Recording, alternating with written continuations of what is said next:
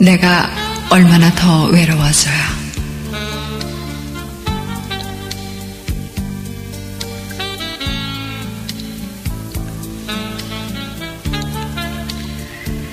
내 청춘의 가지 끝에 나붓기는 그리움을 모아 태우면 어떤 냄새가 날까?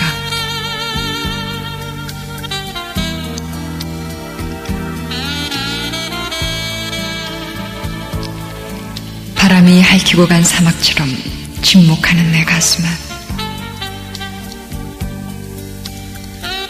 낡은 검은 고줄 같은 그대 그리움이 오늘도 이별의 옷자락에 얼룩지는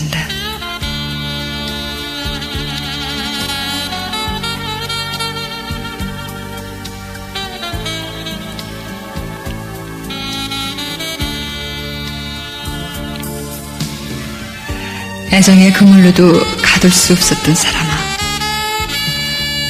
때없이 몰려오는 이별을 이렇듯 앞에 놓고 내가 얼마나 더 외로워져야 그대를 안을 수 있나.